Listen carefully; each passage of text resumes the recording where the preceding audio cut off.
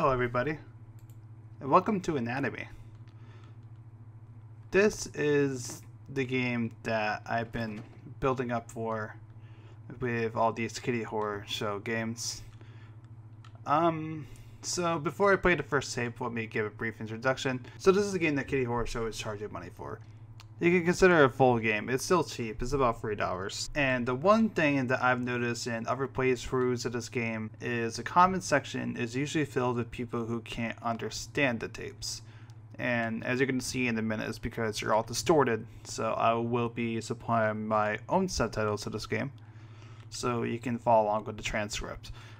Although I recommend playing it for yourself if you're able to cough up three dollars for it and let's begin our first tape.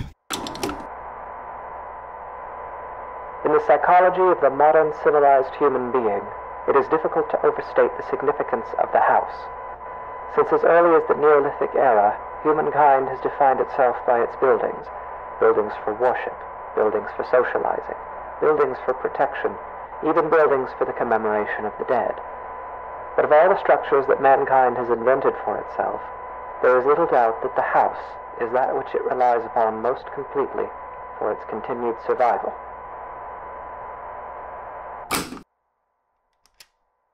There's a table in the dining room. I am collecting these tapes and we are listening to them together.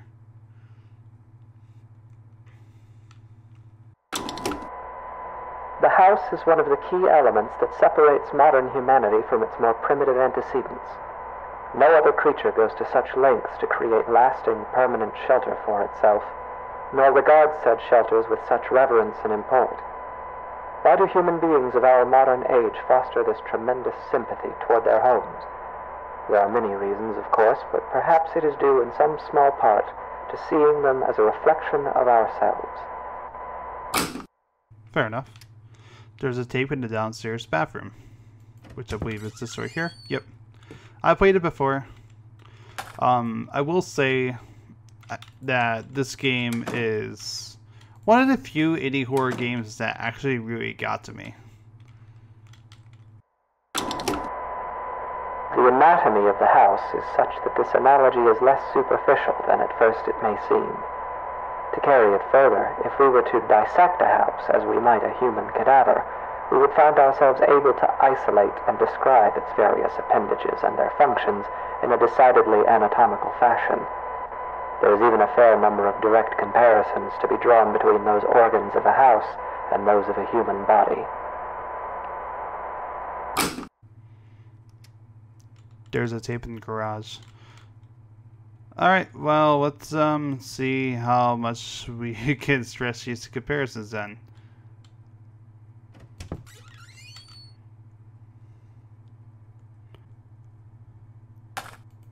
God, that was just hard to get.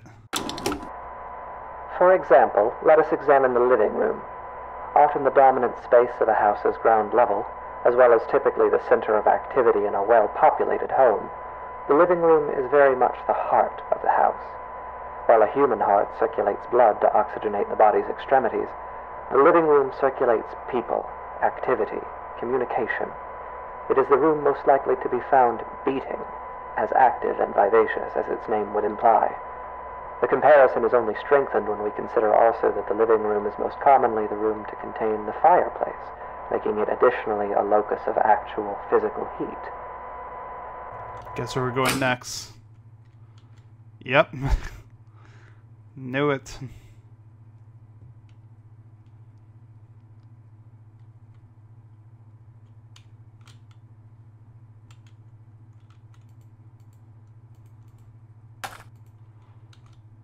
It's not even plugged in, the television.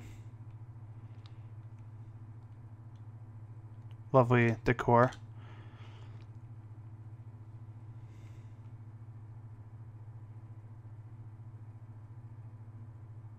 I'm going to be editing this a little bit less. But I will... I'm going to be editing this a little bit less. You'll see me walk into the various rooms. It is easy to think of the kitchen and dining room as the stomach or digestive system of a house, though this comparison is tenuous. By contrast, the function and analog of a bathroom should be immediately obvious. The hallways and corridors of a house are its veins, providing circulation coursing throughout its frame. A staircase bears more than a passing resemblance, both physically and symbolically, to a spine. The windows of a house serve much the same purpose as eyes, and anyone who has ever rounded a bend or a long drive and come suddenly face to face with a tall, dark manor will tell you that it is difficult to shake the impression that the house, through its lightless windows, is a creature capable of vision and intelligence.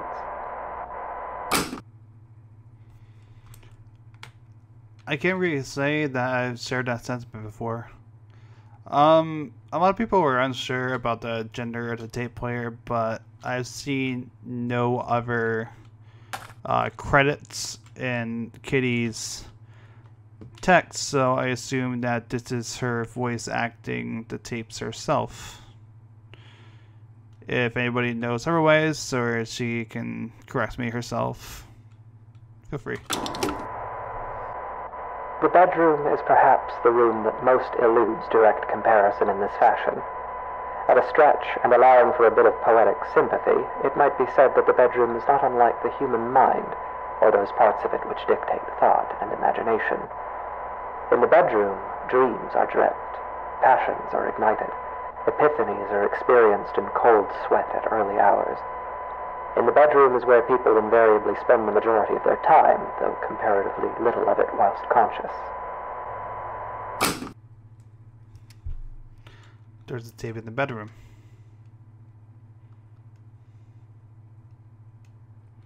Let's go up to it.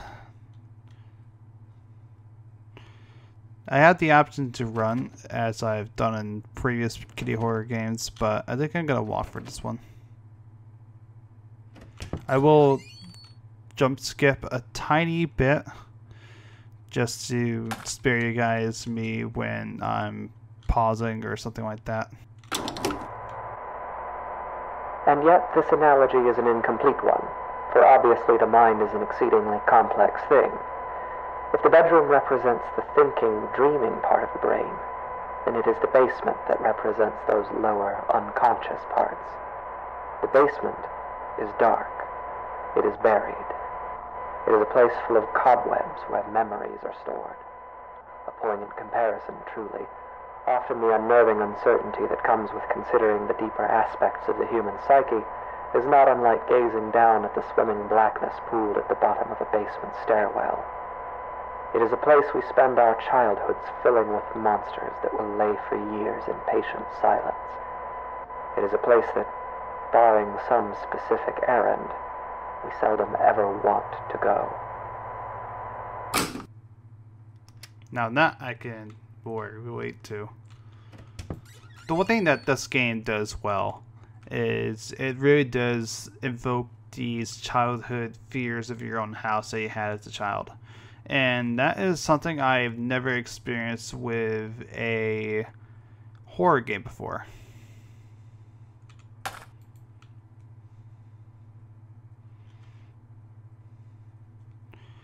However, thankfully in this basement, not much is going on. There could be a monster at the top of the stairs. no, there isn't. But we are going to shut this. Just in case. Don't want anything creeping out of there. Am I right? Of course, this comparison, though appropriate, is a very heavy-handed one, and often the basement is little more than a storage space littered with the corpses of spiders and woodlice. While poets and psychoanalysts no doubt dread the thought of a dark basement, in truth, it is the bedroom, the waking mind, that place of dreams, that is actually the most frightening of all. There's a tape in the master bedroom.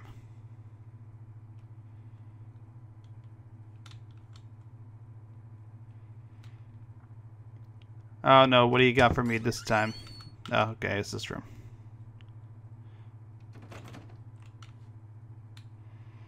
So we tried before, the other doors are locked.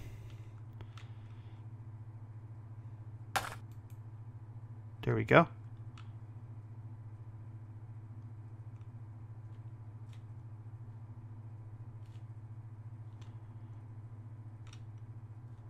Where where did the door go?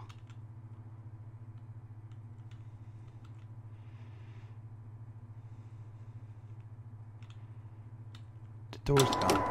It is here, in the bedroom, that we are at our most vulnerable. Each night we shut our senses to the world for hours at a time, trusting in the house to keep us safe until next we wake. In this state of extreme vulnerability, we will spend something like 20% of our lives. Anything might stand beside us, watch us, keep us company until dawn, and we would never perceive it. We can only pray that the house will not let such things carry on as we sleep. In this way, during these hours, the bedroom seems less like a mind and more like a mouth. For it is here that the house is most likely to betray us.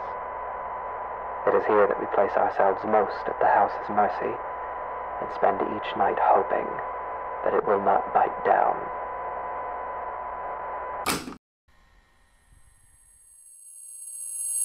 The game closed itself, so I opened it up real quick just to save ourselves time. In the psychology of the modern civilized human being, it is difficult to overstate the significance of the house. Since as early as the Neolithic era, humankind has defined their own bed. But of all the structures that mankind has invented for itself, there is little doubt that the house is that which it relies upon most completely for its continued survival.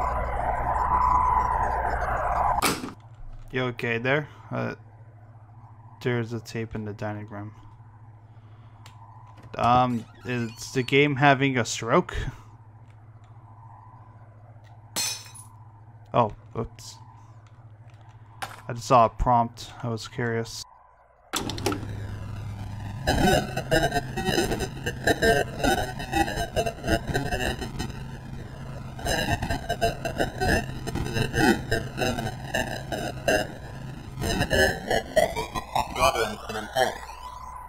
Do human beings of our modern age foster this tremendous sympathy, sympathy, sympathy, sympathy?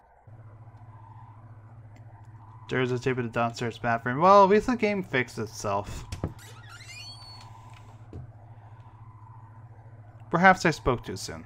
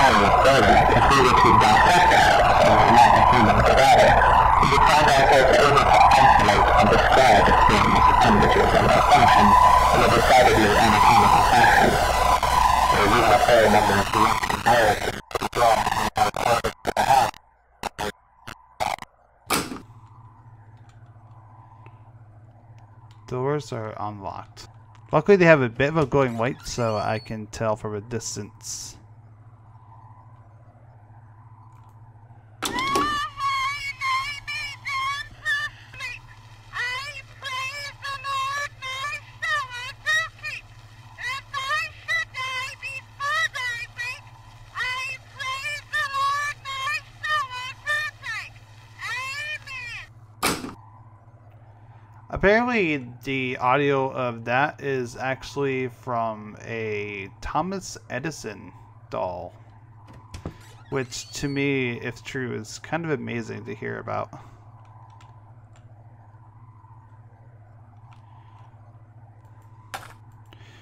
Yeah, it seems like the game's glitching a little bit.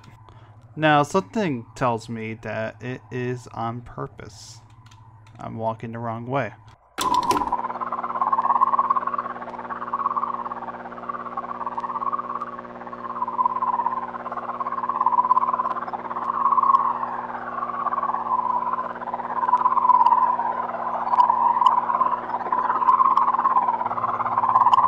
Tape. Very informative. Mm-hmm. There's the tape in the living room. Thank you.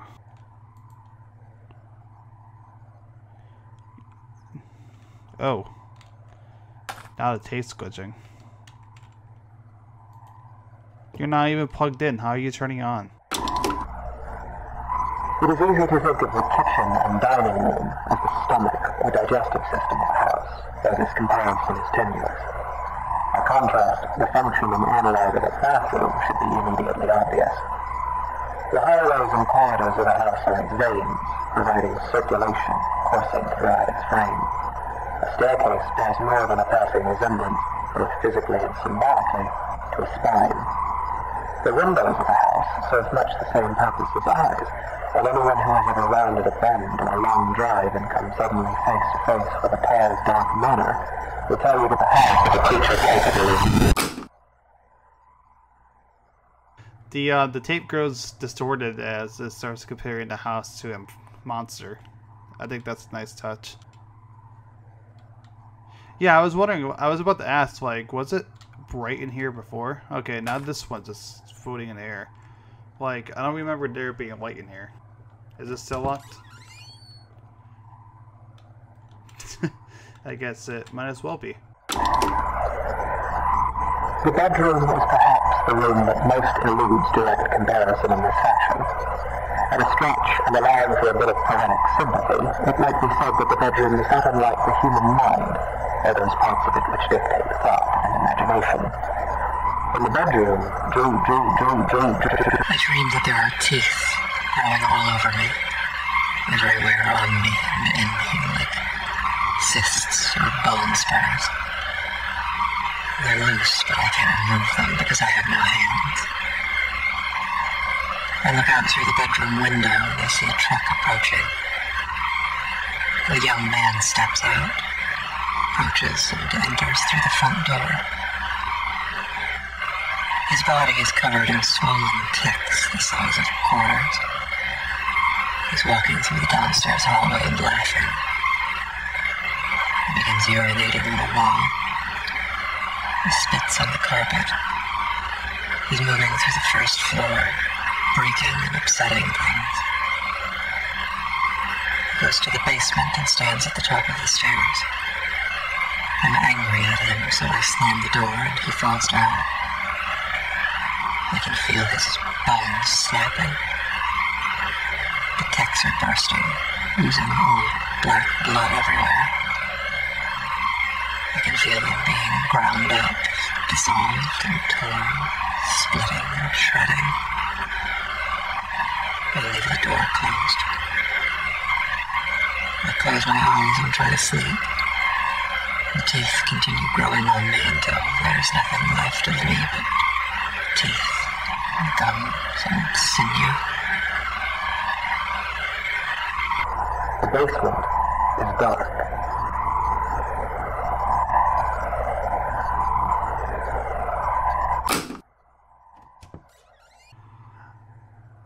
Okay. Just uh, don't shut the door behind me.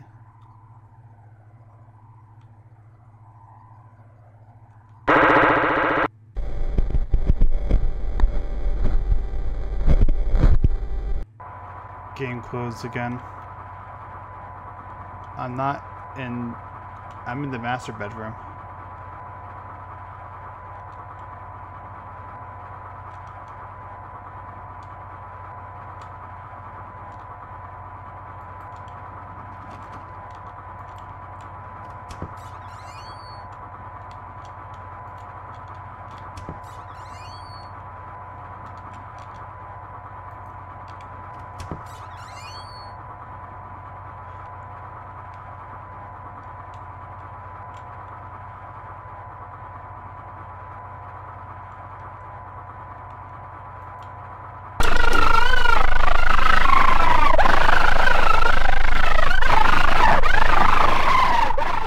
Those are the screams from Suicide Mouse to Creepypasta.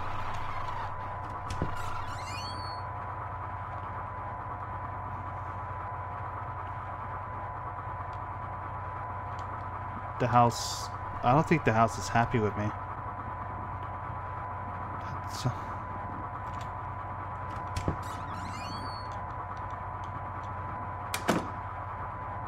Alright, what the let's start our first tape, I suppose. Probably going to be the same things, more or less.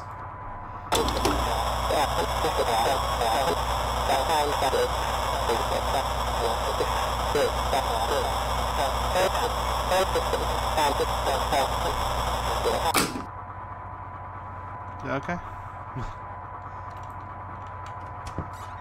I really don't have much of a response to that.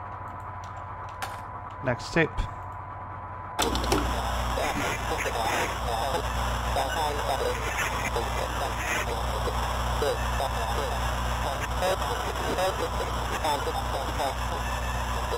I noticed that the paintings are gone as well. The uh, the two mirrors have now become separate. Is this tape going to be much the same?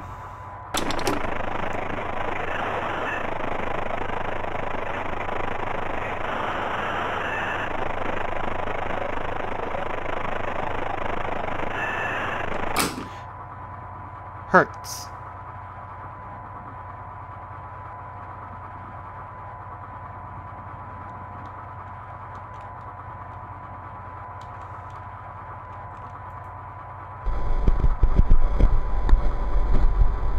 You never came back.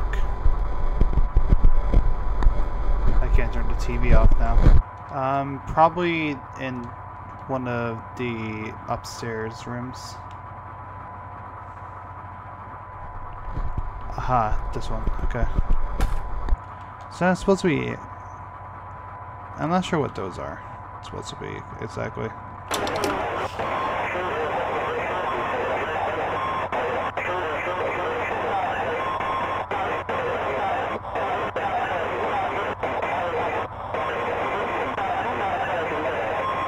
Can I open the basement yet?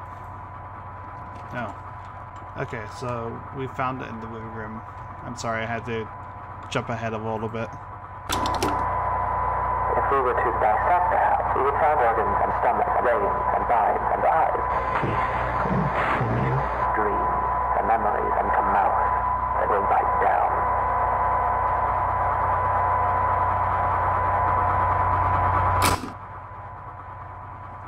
I think that was like three tapes in one. Oh.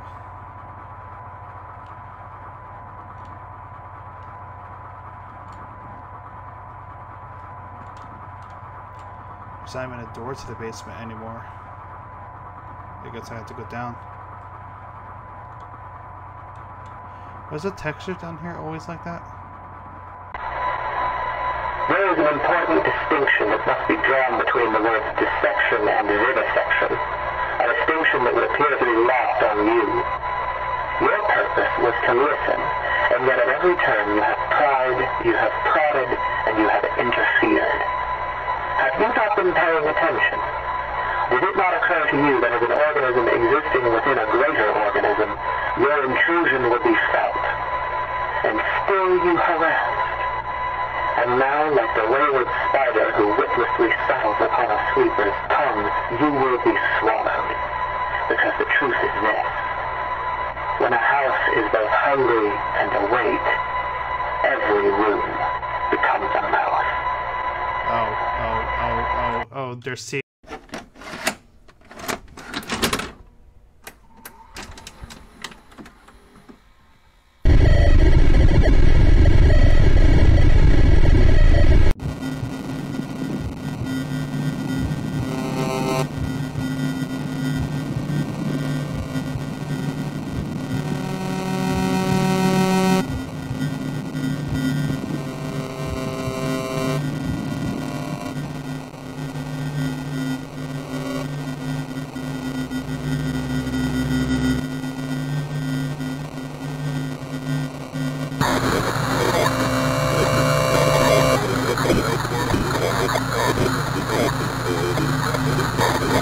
Now give me one second as I try to uh, play this tape and then we can go on to my opinion. What happens to a house when it is left alone? When it becomes worn and aged? When its paint peels and its foundations begin to sink? When it goes for too long unlived in? What does it think of? What does it dream? How does it regard those creatures who built it? Brought it into existence only to abandon it when its usefulness no longer satisfies them. It may grow lonesome. May stare for long hours into the darkness of its own empty halls and see shadows. And its heart may jump as it thinks, here, here's someone again, I'm not alone. And each time it is wrong. And the hurt starts over. It may find itself, inventing ghosts to walk friends with its shadow puppets, laughing and whispering to itself at the end of some quiet cul-de-sac. It may grow angry. Its basement may fill with churning acid like an empty stomach, and its gorge may rise as it asks itself through clenched teeth, what did I do wrong? It may grow bitter. It may grow hungry. So hungry and so bitter that its scruples dissolve and its doors unlock themselves. While a house may hunger, it cannot starve. And so, in fever and anger and loneliness, it may simply lie in wait. Doors open. Shades drawn. Hallways empty. Hungry. And that was Anatomy. I really do think that this is one of the better indie horror games that I've played in a long while. It's one of the few games that ever truly made me uncomfortable, and to this day, it's I still get a little bit of a spine chill during segments like when the second voice over the tape recorder starts playing. At least I think they're supposed to be two different entities. I think the ending speech kind of hit a particular chord with me. As somebody who used to work in a nursing home, you kind of get that feeling. Now, I wasn't working with a patient, I was a dietary aide. You kind of get that feeling from some of the residents, some of the more cynical ones, the ones who are just waiting until their final days, more or less. It's not hard to make the comparison to the house at the end of the speech to somebody in that particular mindset.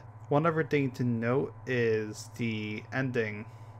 Well, not this, but the one where I was in the stomach. There are apparently two different endings because I saw in somebody else's playthrough that they were walking toward a house, and apparently there's a third one somewhere out there. I'm not sure how to trigger them, so unfortunately I can't show all three. And if you want to try yourselves and tell me if what the third one is, if it exists, go ahead, be my guest. The game is three dollars. I say the experience is worth it. I do think that the tapes themselves were well written. This is a game that is definitely made for you to be experienced rather than watch, I would say. So if any of this interested you this late into the video, I'd say go ahead and try it for yourself. I would say like this would rank up one of my highest regarded indie horror games alongside games like I'm Scared. And I think this game and Kitty Horrorshow herself is heavily underrated. That being said, we are not done with Kitty Horrorshow.